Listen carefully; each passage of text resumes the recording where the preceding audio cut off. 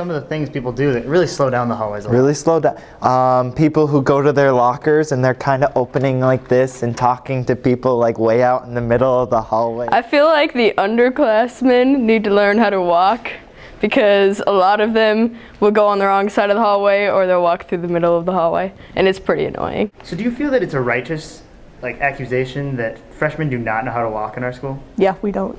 I mean, most people don't disagree, but we kind of just like walk in front of someone instead of like going with the flow and then getting to your locker or something. So what else do you think we could do to maybe eliminate some of the traffic in the hallways? Maybe like a traffic police, traffic police, traffic police.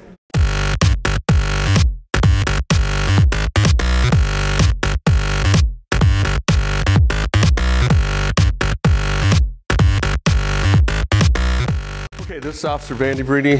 Um, it is uh, November 6th, 2012. Time is getting to be uh, close to uh, the change between third and fourth block. So I'm here today uh, standing by the uh, commons to monitor uh, traffic movement through the hallways. Stop, sir. You need to stop.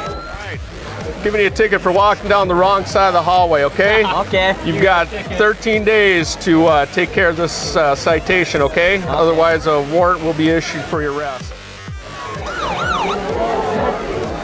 Know why I'm stopping you today? No. For uh, causing congestion in the hallway. Oh, Um, you need to get your uh, things out of your locker in a more timely manner.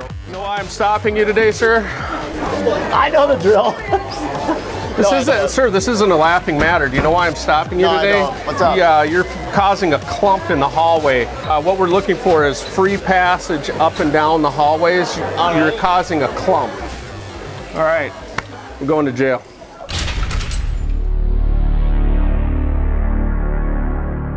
Stay on the right side.